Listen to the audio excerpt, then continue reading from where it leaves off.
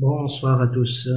Donc, euh, je vais traiter cette fois euh, un sujet très important qui est le système endocrinien, qui va énumérer et euh, traiter les fonctions des glandes endocrines chez l'être humain. Donc, on distingue les glandes endocrines et les glandes exocrines. Euh, c'est plus facile de comprendre les glandes exocrines parce que euh, elles déversent, ce sont des, organes qui déversent euh, des substances à l'extérieur du corps humain, comme la transpiration, la salive ou le lait. Donc, on parle des glandes sudoripares, salivaires, mammaires, sébacées, etc. Donc, contrairement à ces glandes, nous avons des glandes endocrines qui sécrètent des hormones directement dans la circulation sanguine plutôt que via un canal comme une glande exocrine. Donc, les hormones sécrétées par les, les glandes endocrines exercent leur action spécifique sur des organes, cellules ou récepteurs distants. Ce sont des messagers biochimiques régulant plusieurs fonctions de l'organisme. Donc, euh, une glande parfois est appelée amphicrine parce qu'elle est à la fois endocrine et exocrine. Donc, exemple, les gonades ou le pancréas. Dans ce qui suit, on va traiter les gonades, mais pas le pancréas. Donc, une hormone, donc on a dit, est une substance chimique biologiquement active sécrétée par une glande endocrine agissant à distance et par voie sanguine sur des récepteurs spécifiques d'une cellule cible, jouant le rôle d'un messager dans l'organisme. Donc, euh, la glande endocrine principale, c'est l'hypothalamus.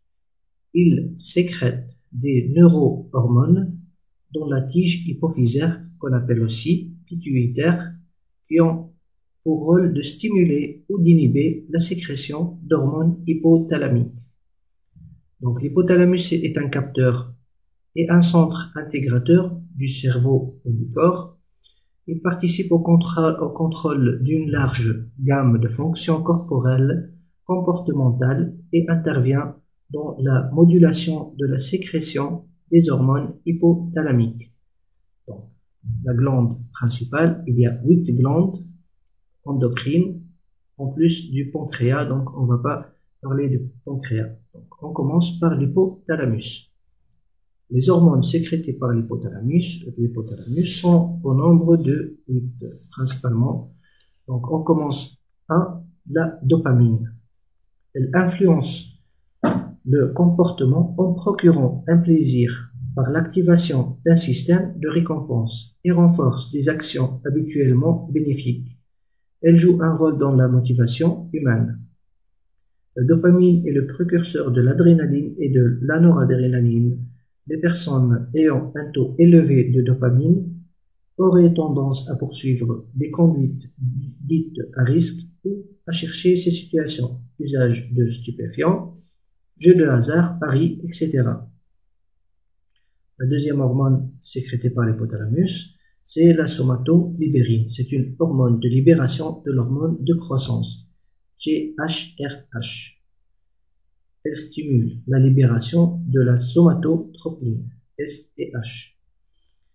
Donc, la troisième hormone, c'est la somatostatine, la GHIH, Growth Hormone Inhibiting Hormone. Toutes ces fonctions sont inhibitrices. Elle euh, elle inhibe l'hormone de croissance, elle inhibe aussi le largage du TSH et inhibe le largage euh, des hormones gastro-intestinales comme la gastrine, la cholécystokinine, cholécystokinine, la sécrétine, la motiline, etc. Elle inhibe aussi le largage de l'hormone pancréatique, l'insuline et aussi du glucagon. Il inhibe aussi la sécrétion acide au niveau de l'estomac. C'était la somatostatine. Quatrième hormone, c'est la TRH, hormone thyréotrope. Thyréolibérine, ou euh, protyréline sous sa forme synthétique. Donc, elle stimule la synthèse et la libération de la thyréostimuline, TSH, et de la prolactine. L'hypophyse a une action sur la thyroïde par l'intermédiaire de la TSH. La TRH et la TSH sont responsables de l'augmentation de la captation d'iode, de la synthèse des, hormones thyroïdiennes et de leur, de leur mise en circulation dans le sang. Cinquième hormone de l'hypothalamus toujours, c'est la GNRH, la lulibérine ou gonadolibérine, euh, la neurohormone LHRH. Donc, c'est une hormone de libération des gonadotrophines hypophysaires. Euh, elle permet la synthèse et sécrétion de FSH en degré moindre et surtout de LH. Donc, l'activité de la GNRH apparaît à la puberté pour assurer le développement des fonctions reproductives. La dopamine diminue l'activité de la GNRH. Chez la femme, la synthèse et la sécrétion de la GNRH s'arrêtent pendant la grossesse et en période d'allaitement. La GNRH stimule la synthèse et la libération des gonadotrophines, FSH et LH processus contrôlé par la fréquence et l'amplitude des oscillations de GNRH, elle-même contrôlée par la quantité d'hormones sexuelles dans le sang. Chez l'homme, la testostérone et chez la femme, la progestérone et l'œstrogène. La GNRH contrôle le processus complexe permettant le développement d'un follicule ovarien, l'ovulation et le maintien du corps lutéal qu'on appelle corps jaune dans le cycle menstruel chez la femme. Chez l'homme, la GNRH contrôle la spermatogenèse, c'est la production de spermatozoïdes dans les tubes séminifères des testicules. Donc, sixième hormone, c'est la vasopressine. C'est une hormone diurétique. En français, on l'appelle AVP. En anglais, on l'appelle ADH. Elle est libérée par l'hypothalamus alerté par l'hypophyse, quand l'intensité lumineuse baisse, le corps se met à stocker l'eau au lieu de la remplir, au lieu de remplir la vessie à partir des reins, de manière à conserver un niveau d'hydratation idéal du corps pendant le sommeil. Ce processus est en partie régulé par l'horloge circadienne de l'organisme. La septième hormone, c'est l'ocytocine. Elle agit principalement sur les muscles lisses de l'utérus et des glandes mammaires. Elle a un rôle aussi chez l'homme, chez les hommes, notamment en ce qui concerne la confiance, l'empathie, la générosité, la sexualité. Elle a un rôle dans différents comportements comme l'orgasme, la reconnaissance sociale, l'empathie, l'anxiété et aussi elle entre en jeu dans des comportements maternels. On l'appelle hormone du plaisir ou hormone du bien-être ou hormone de bonheur. Dans certaines situations, l'ocytocine pourrait induire des comportements radicaux, voire violents, surtout lorsqu'on parle d'agressivité défensive. La huitième hormone sécrétée par l'hypothalamus, c'est endorphine. Les endorphines sont sécrétées par le complexe hypothalamo-hypophysaire lors d'activités physiques intenses, excitation, douleur et orgasme. Elles ont une capacité analgésique et procurent une sensation de bien-être, voire d'euphorie. En gros, elles réduisent l'intensité des douleurs. Donc, on a vu les hormones sécrétées par la glande endocrine qui est l'hypothalamus. On passe à une autre glande endocrine, l'hypophyse ou la glande pituitaire. C'est une glande maîtresse, elle produit des hormones trophiques qui stimulent d'autres glandes endocrines. L'hypophyse est toutefois régulée par les neurohormones émises par l'hypothalamus.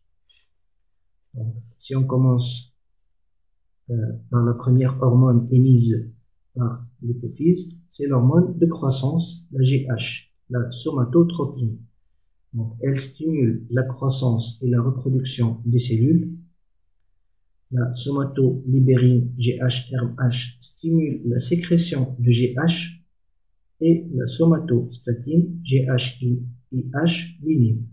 Ce sont deux hormones hypothalamiques qui font la régulation de cette hormone. La, GHRH est stimulée par l'hypoglycémie, le sommeil profond, le stress et l'exercice. La sécrétion pulsatile de GH est due à l'alternance de sécrétion GHRH, GHIH. Pendant la puberté, le taux d'hormone de croissance sécrété naturellement est maximal. C'est le passage à l'état adulte et activation de la fonction reproduction. Donc la deuxième hormone sécrétée par l'hypophyse, c'est la prolactine, PRL. Elle a un effet mammotrope, la croissance des glandes mammaires. Un effet lactogénique, c'est la stimulation de la synthèse du lait. Et un effet libidinal, la participation à la sensation de plaisir sexuel la dopamine inhibe la libération de la prolactine et les estrogènes stimulent la sécrétion de la dopamine. L'action sur l'hypophyse, c'est la diminution de la production de la prolactine. La prolactine inhibe la sécrétion de GNRH par suite de FSH et de LH en inhibant, en inhibant la kispeptine. Pendant la grossesse, le placenta sécrète de grandes quantités d'œstrogènes et de progestérone qui inhibent les montées de lait. Enfin, de grossesse, les montées de lait vont euh, reprendre leur, euh, leur cours normal. Troisièmement, la FSH, donc la troisième hormone euh, sécrétée par l'hypophyse, donc l'hormone folliculo-stimulante, la FSH. L'hypothalamus sécrète d'une manière pulsatile la GNRH qui stimule la sécrétion de FSH et de LH. La FSH a pour cible les gonades, c'est-à-dire pour la femme les ovaires, pour l'homme les testicules. Chez la femme, la FSH stimule les cellules de la granulosa qui sécrètent de l'estradiol et de l'inhibine B et exprime des récepteurs pour la LH. La FSH aussi stimule les cellules de la granulosa qui produisent l'enzyme aromatase capable de convertir les androgènes en oestrogènes. La FSH aussi, toujours chez la femme, entraîne la croissance des follicules et permet l'ovulation en fragilisant la paroi de l'ovaire. Chez l'homme, la FSH stimule les cellules de Sertoli qui sécrètent de l'inhibine B et sont indispensables à la spermatogénèse. Donc, euh, on a vu la FSH qui est la troisième hormone sécrétée par l'hypophyse. La quatrième hormone, c'est euh, la LH, c'est une hormone lutéinisante, elle s'appelle comme ça, donc c'est l'une des deux gonadotrophines. L'autre c'est la FSH.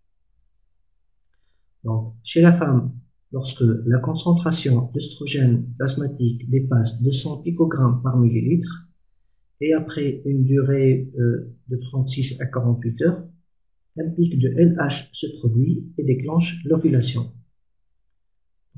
LH plus FSH sont responsables de la maturation folliculaire et la transformation du follicule rompu encore jaune pendant la phase lutéale du cycle menstruel.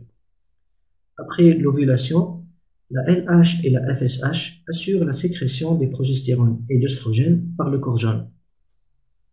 Chez l'homme, la LH stimule la production de testostérone par les cellules de Leydig. La testostérone agit ensuite sur les cellules de Sertoli qui forment la barrière hémato-testiculaire des tubes séminifères. Les cellules de Sertoli sont des cellules somatiques qui jouent un rôle central dans la régulation de la spermatogenèse.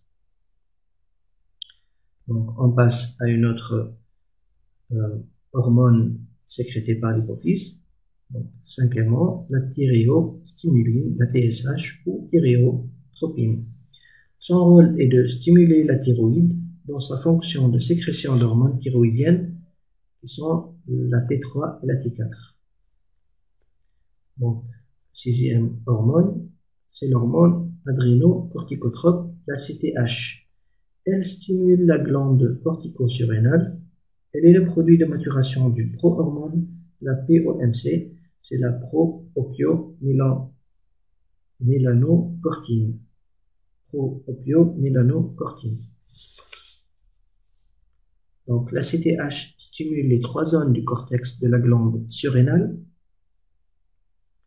La, la zone glomérulée de façon aiguë qui produit des minéralocorticoïdes aldostérone et corticostérone. La zone fasciculaire qui produit des glucocorticoïdes, comme le cortisol, et la zone réticulaire qui produit les androgènes, principalement la DHEA, des déhydroépiandrostérone, et accessoirement un peu de testostérone. En situation de stress physique ou psychologique, infection, fièvre, douleur, fatigue, peur ou variation de température, la sécrétion d'ACTH est augmentée, induisant une libération de glucocorticoïdes au niveau des glandes surrénales. L'ACTH est une hormone à rythme circadien et sécrétion pulsatile, c'est-à-dire variant selon l'heure du jour et de la nuit. Sa concentration sanguine est maximale juste avant le pic de cortisol se situant chez l'homme avant de rêver vers 6 heures du matin et minimal le soir vers 23 heures, juste avant le coucher. Donc, euh, c'était la CTH et une hormone hypophysaire. La dernière hormone hypophysaire, c'est la mélanostimuline, MSH, et endorphine, dérivant de la CTH par clivage enzymatique de cette hormone. Elle est responsable de la synthèse de la mélanine, principalement en réponse aux rayons UVA. Donc, troisième glande endocrine, on a vu euh, l'hypothalamus et l'hypophyse qui sont situés dans le cerveau. Maintenant, on passe euh, au surrénal. La troisième glande endocrine, ce sont les surrénales. Ce sont des glandes endocrines triangulaires situées au-dessus des reins. Elles sont principalement responsables de la gestion de stress via la synthèse de corticoïdes et de catécholamines. Sont aussi responsables de l'homéostasie hydrosodée via la synthèse de l'aldostérone. Elles sont divisées en deux structures anatomiquement physiologiquement, histologiquement et fonctionnellement distinctes. Nous avons la médulo-surrénale, qui est la zone centrale dite médulaire surrénale ou encore médulaire surrénalienne, originaire de l'ectoblaste. Et on a aussi la cortico-surrénale, c'est la zone périphérique dite de cortex surrénal, ou encore jaune car de composition lipidique d'origine mésoblastique. Donc on commence par la médulo-surrénale. C'est la principale source corporelle d'hormones du groupe des, des catécholamines, adrénaline et noradrénaline. L'adrénaline ou épinéphrine est sécrétée en réponse à un état de stress en vue d'une activité physique entraînant une accélération du rythme cardiaque une augmentation de la vitesse de contraction du cœur, une hausse de la pression artérielle, une dilatation des branches, ainsi que des pupilles. Elle répond à un besoin d'énergie, exemple, faire face à un danger. L'adrénaline joue un rôle dans la régulation de la glycémie. Au niveau du métabolisme lipidique, l'adrénaline a une action identique à celle du glucagon. Elle favorise l'hydrolyse des glycérides en libérant du glycérol et des acides gras. Donc, deuxième euh, partie des surrénales, c'est la corticosurrénale. Elle est euh, responsable de la sécrétion des stéroïdes. Donc, trois groupes principaux. Trois groupes principaux, pardon. Donc, les glucocorticoïdes, notamment le cortisol, les minéralocorticoïdes régulant l'osmolarité et la volémie, principalement l'aldostérone, et euh, les androgènes, notamment DHEA. La sécrétion du cortisol et dans une moindre mesure des androgènes est sous le contrôle de l'axe hypothalamo-hypophysaire via la CTH, l'adrénocorticotrophine, et la CRH, corticotropine releasing hormone. Cette sécrétion suit un rythme nictéméral avec un maximum lors du réveil. C'est le pic d'acrophase. La sécrétion de l'aldostérone est sous contrôle du système rénine-angiotensine-aldostérone. Donc, si on commence par expliquer le cortisol ou hydrocortisone, euh, il est euh, responsable de la stimulation de l'augmentation du glucose sanguin, libère de l'énergie à partir des réserves de l'organisme, c'est la synthèse du glucose par le foie. Il stimule la dégradation protéique et graisseuse dans la plupart des tissus. Le cortisol a un effet catabolisant à dose pharmacologique. Il peut entraîner l'ostéoporose ou chez l'enfant le ralentissement de la croissance des cartilages et de la formation de l'os. Le cortisol entraîne un retard de cicatrisation de plaies. Euh, aussi, il inhibe les gènes codant les collagènes et a un effet de dégradation du derme, la détérioration des propriétés mécaniques de la peau. Le cortisol a une action anti-inflammatoire et immunosuppressive. Les états de stress chronique, accompagnés d'une sécrétion élevée et continue de cortisol, peuvent faire apparaître des immunodéficiences avec infection. La sécrétion du cortisol suit un rythme circadien c'est-à-dire lorsque la mélatonine augmente, le cortisol diminue. Deuxièmement, l'aldostérone. Il est synthétisé à partir du cholestérol. Il joue un rôle crucial dans le maintien de la volémie plasmatique et de la tension artérielle, ainsi que de la, de la via son action de réabsorption du sodium urinaire et de sécrétion de potassium dans l'urine. On a vu aussi les androgènes, des HEA, qui sont responsables du développement et maintien des caractères mâles. Nous avons plusieurs euh, sous-groupes. Donc, on commence par le déhydroépiandrostérone, DHEA, qui est le précurseur des oestrogènes naturels. Nous avons aussi les euh, andro, andro, tout simple, tout court, on les appelle aussi comme ça. Ce sont des stéroïdes androgènes produits par les testicules, le cortex surrénal et les ovaires. Tandis que les androsténédiones sont convertis métaboliquement en testostérone et autres androgènes, elles sont aussi la structure mère de l'estrone. On a aussi l'androsténédiol, qui est un régulateur principal de la sécrétion de, gonadotrophine. Il y a aussi, comme androgène, l'androstérone, androstérone, ayant des effets virilisants mineurs, et présents dans des quantités égales dans le plasma et l'urine des hommes et des femmes. Euh, ça, c'est terminé pour les surrénales. La quatrième glande endocrine, c'est la thyroïde.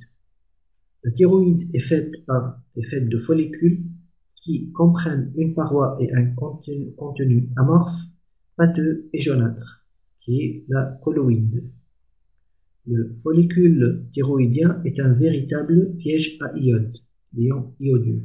L'iode sera ainsi capté et stocké dans la colloïde qui contient de la thyroglobuline, un précurseur des hormones thyroïdiennes. Donc, euh, la biosynthèse de l'iode par la thyroglobuline. Donc, la thyroïde sécrète la T3, qui est qu'on appelle triiodothyronine, en très faible quantité, et la T4 ou thyroxine. Euh, la thyroïde sécrète aussi la calcitonine intervenant dans le métabolisme du calcium. Donc on commence par la T3 qui est la triiodothyronine. Elle est issue de la désiodation de la thyroxine. Elle affecte pratiquement tous les processus physiologiques de l'organisme, y compris la croissance biologique, le développement du corps le métabolisme, la température corporelle et le rythme cardiaque. deuxièmement, la thyroxine, la T4, c'est une pro-hormone du, T3. Elle est synthétisée par iodation de la thyroglobuline sous l'action de l'iode, introduit dans les cellules par la pendrine et oxydée en iode atomique par la thyroépoxydase une enzyme dont l'expression est accrue par la thyréostimuline TSH. Donc, troisième hormone sécrétée par la thyroïde, c'est la calcitonine.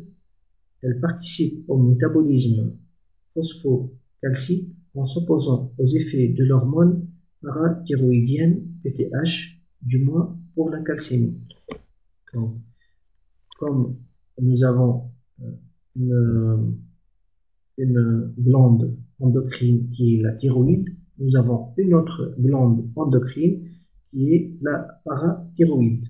Elle est située dans le cou, en arrière et à proximité de la glande thyroïde. Elle sécrète la parathormone, la PTH, euh, favorisant la régulation des taux de calcium et de phosphore dans le sang. Nous avons vu jusqu'à maintenant cinq glandes endocrines, l'hypothalamus, l'hypophyse, les surrénales, la thyroïde et la parathyroïde. Sixième glande endocrine, les gonades. Donc, ce sont les organes reproducteurs. Donc, on va distinguer chez l'homme les testicules et chez la femme les ovaires pour les testicules, la fonction endocrine consiste à la production des hormones sexuelles, surtout la testostérone, produite dans les cellules de Leydig. La FSH agit directement sur les spermatogonies et les cellules de Sertoli pour accélérer la spermatogénèse par assimilation augmentée de testostérone. La LH, quant à elle, augmente la production de testostérone, qui agit également sur les spermatogonies et permet en particulier la différenciation finale, et sur les cellules de Sertoli aussi. Si la production de testostérone atteint un certain seuil, la testostérone envoie un rétrocontrôle négatif à l'hypophyse qui inhibe la production de LH. De même, les cellules de Sertoli produisent une hormone qui est l'inhibine, qui, en cas d'élévation de production de spermatozoïdes, agissent par rétrocontrôle négatif sur l'hypophyse. C'est donc un système autorégulé qui ne permet pas la production excessive de testostérone et donc de spermatozoïdes. Donc, euh, les gonades pour la femme, ce sont les ovaires. Euh, le cycle ovarien ou menstruel est l'ensemble des phénomènes physiologiques survenant périodiquement qui préparent l'organisme de la femme à une éventuelle fécondation. Il apparaît à la puberté et s'arrête à la ménopause. Ce cycle dure en moyenne 28 jours et est contrôlé par les hormones sexuelles. Donc, pour simplifier ce processus très complexe chez la femme, on doit voir les trois, euh, l'évolution des trois phénomènes au niveau euh, de l'ovaire, au niveau de l'utérus et euh, pardon, au niveau de la glaire cervicale. L'ovaire comprend plusieurs follicules qui contiennent les ovules. Donc, si on voit le cycle de l'ovaire, le cycle ovarien, euh, il commence par une phase folliculaire pendant 14 jours à peu près, où se déroule le développement d'un follicule qui grossit. Le follicule éclate et libère un ovule dans la trompe de Fallope au 14e jour. C'est l'ovulation. Ce même follicule dépourvu d'ovules, se transforme en corps jaune. Ce dernier se maintient 14 jours, puis régresse et disparaît. C'est la phase lutéale. Donc ça, c'est le cycle de l'ovaire. Pour le cycle de l'utérus, qui est un organe creux qui accueille le développement de l'embryon lors de la grossesse, euh, cet utérus est couvert d'une muqueuse au niveau de, la paroi qui est euh, l'endomètre. Le début du cycle utérin, c'est les règles ou la menstruation. Elle dure quelques jours, à peu près 4 jours. Une grande partie de la muqueuse utérine, utérine est détruite, provoquant un écoulement de sang. Après les règles, la muqueuse se reconstruit progressivement jusqu'au quatorzième jour où elle s'épaissit. C'est la phase proliférative. Du quatorzième au vingt-huitième jour, cette muqueuse continue à se développer. C'est la phase sécrétoire où se déroule la vascularisation. Voilà. Bon, il reste un autre, euh, un autre processus qui évolue en parallèle avec ces deux euh, processus-là. C'est le cycle de la glaire cervicale qui est situé au col de l'utérus. Donc, il s'agit d'une sécrétion dont l'aspect varie au cours du cycle. Pendant une grande partie du cycle, la glaire cervicale est un gel épais dont les filaments resserrés empêchent la majorité des spermatozoïdes de passer en cas d'éjaculation dans le vagin. Un peu avant et un peu après le quatorzième jour, les filaments sont plus relâchés et le gel est plus fluide. On dit que la glaire est filante. Les spermatozoïdes passer dans l'utérus et rejoindre éventuellement l'ovule dans une trompe de Fallope. L'augmentation de la filance de la glaire est favorable à la fécondation. Comme on a vu, les ovaires libèrent les, des hormones dans le sang. Nous avons deux hormones produites, les oestrogènes ou l'œstradiol fabriquée par le follicule ovarien et la progestérone fabriquée par le corps jeune. on revient à la phase folliculaire. La concentration d'œstrogène augmente progressivement. Les récepteurs des cellules de la muqueuse utérine capteront ces oestrogènes, d'où le développement de la muqueuse utérine qui sera reconstruite. Pendant la phase lutéale, le follicule ovulé transformé et transformé en corps jaune. Le corps jaune produit des oestrogènes et de la progestérone. Les récepteurs des cellules de la muqueuse utérine capteront des oestrogènes et la progestérone, d'où le développement de glandes et de vaisseaux sanguins. Le cycle de l'ovaire contrôle le cycle de l'utérus. À la fin de la phase lutéale, c'est-à-dire aux alentours de 14 jours, après 14 jours, le corps jaune régresse et ne libère presque plus d'hormones. Les concentrations d'œstrogènes et de progestérone diminuent. La muqueuse utérine ne peut plus être maintenue, d'où la destruction qui, euh, qui marque les règles. Voilà. On a fini avec euh, les gonades. On passe à la septième glande endocrine qui est le thymus. C'est un organe situé dans la partie supérieure du thorax. Il supporte la différenciation et la sélection des lymphocytes T et joue donc un rôle dans l'auto-immunité. Lorsqu'on dit différenciation et sélection, on parle de maturation. Et lorsqu'on dit euh, lymphocytes T, ils sont aussi appelés thymocytes.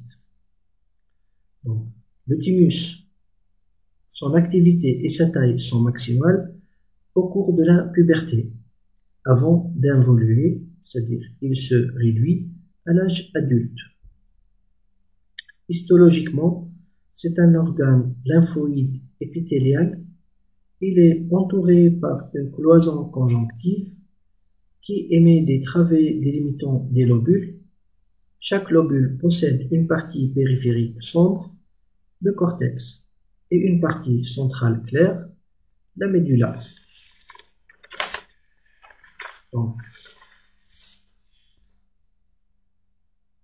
Le thymus est une glande paracrine, c'est-à-dire son action est locale, contrairement aux autres glandes qui sont qui émettent des qui, qui, qui sécrètent des hormones euh, c'est-à-dire des messagers chimiques délivrant une information à une cellule cible éloignée de la glande émettrice.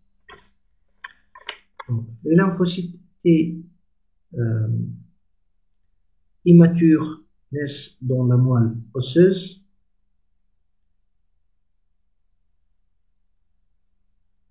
Dans, leur, euh, dans, dans leur c'est-à-dire migration de la périphérie vers le centre du lobule, ils subissent la différenciation durant laquelle euh, ils vont apprendre les techniques euh, d'anéantissement ou de destruction des éléments, pathogènes, c'est-à-dire les microbes et les virus. Euh, si un lymphocyte T dans cette euh, migration procède à une attaque des cellules du corps qui ne sont pas pathogènes, il est éliminé par des macrophagocytes du cortex. Je répète la phrase, les lymphocytes immatures en cours de différenciation entament une migration de la périphérie vers le centre du lobule, pendant laquelle une grande partie meurt par apoptose. Donc, nous avons deux euh, hormones principales émises ou sécrétées par le thymus. Nous avons la thymosine. Elle stimule l'immunocompétence des lymphocytes T. Et nous avons aussi la thymopoïtine qui agit sur les cellules nourricières des pro-thymocytes. Voilà, c'est pour le thymus là.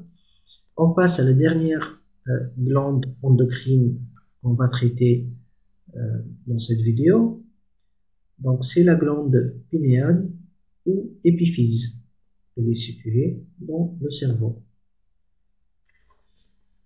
À partir de la sérotonine, la glande pinéale sécrète la mélatonine et joue donc, par l'intermédiaire de cette hormone, un rôle central dans la régulation des rythmes biologiques.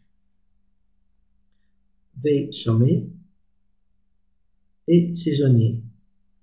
Lorsqu'on parle de, du jour et de nuit, on parle du rythme circadien ou nictéméral. Et euh, lorsqu'on parle de rythme saisonnier, on, les appelle rythme infradien. La lumière inhibe la libération sanguine de la mélatonine. Donc, euh, la glande pinéale joue un rôle et au concours à adapter l'organisme à la succession des, jours et des nuits. Voilà, donc euh, nous avons terminé avec le système endocrinien. Euh, merci de d'avoir suivi cette vidéo et à une prochaine fois. Au revoir.